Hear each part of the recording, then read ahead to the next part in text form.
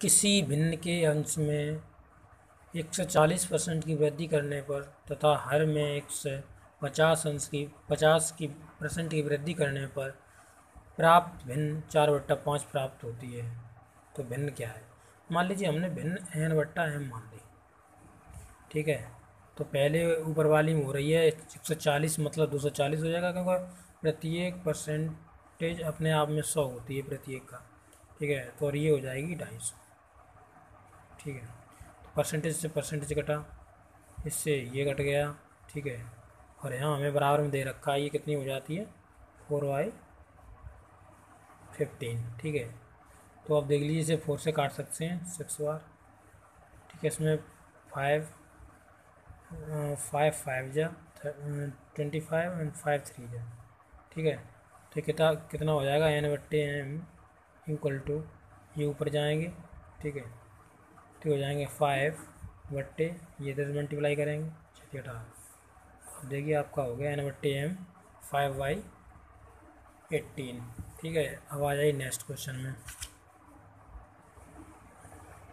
किसी भिन्न के अंश में ढाई सौ परसेंट वृद्धि करने पर तथा हर में चार सौ परसेंट की वृद्धि करने पर वह भिन्न सात सही, सात बट्टा उन्नीस उन्नीस है तो प्रारंभिक भिन्न क्या गया है। तो प्रारंभिक भिन्न हमने एन बट्टा एम मान ली, ठीक है? तो इसमें ढाई सौ की वृद्धि करा रहा है, ये साढ़े तीन सौ हो जाएगी और इसमें वृद्धि करा रहा है चार सौ की तो ये हो जाएगी पूरी पाँच सौ, ठीक है? और बराबर में आपका आएगा सात बट्टे उन्नीस। अब परसेंटेज से परसेंटेज कट गया इससे ये कट गया फाइव से ये टेन बार फाइव से ये सेवन बार, और सेवन से सेवन कट गया तो एन वट्टा एम बराबर आ गया आपका टेन वट्टा उन्नीस, ठीक है? तो ये आपका आंसर हो गया। नेक्स्ट। नेक्स्ट क्वेश्चन देखिए, एक व्यक्ति साढ़े तीन हज़ार रुपये प्रति माह खर्च करने के बाद अपनी मासिक आय का साढ़े बारह परसेंट बचाता है। उसकी मासिक आय ज्ञात कीजिए। तो इसमें आप फ्रैक्शन बताइए इसकी कितनी होगी? One by eight. ठीक है। तो ये तो इसकी आय होगी और ये होगी उसकी प्रतिमा खर्च खर्च इसमें दे रखा। नहीं प्रतिमा बचत दे रखी इसमें। बचत की परसेंटेज दी है तो बचत आएगी ऊपर, ठीक है?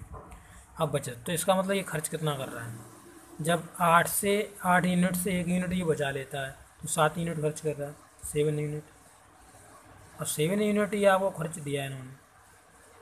सेवन से से काट देंगे तो सेवन फाइव जा, ठीक है? तो वन यूनिट आपकी आ गई